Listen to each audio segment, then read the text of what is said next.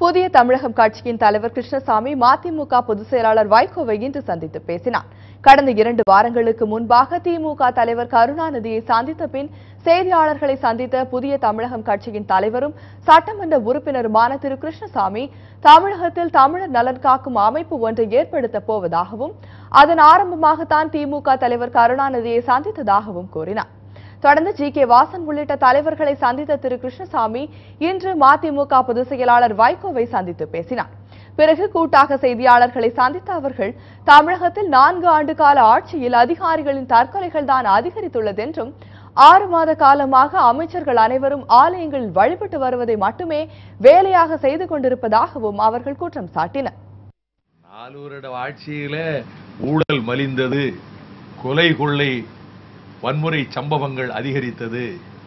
யாருக்கும் பாதுகா அரசு ஊழியர்கள் உயிருக்கே பாதுகாப்பு இல்லாமல் முத்துக்குமாரசாமி நிலைமைதான் பலருக்கும் ஏற்பட்டு வருகிறது என்பதுதான் நான்காண்டு கால மொத்த ஐந்தொகை கணக்கு.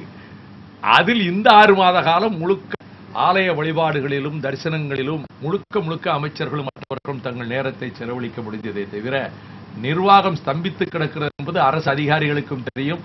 இது அங்கே இந்த அரசு இயந்திரம் இது போல செயல்படாமல் எந்த காலத்திலும் இருந்ததில்லை என்பதுதான் அரசு ஊழியர்கள் அனைவரும் அறிந்த ஒன்று. பின்னர் பேசிய வைகோ பிரதமர் மோடி ஒரு உலகம் சுற்றும் வாலிபன் என்றும் விமர்சனம் செய்தார். சுற்றும் நரேந்திர மோடியாக சுத்தி வந்ததுதான் நாள் ஓராண்டு கால சாதனை.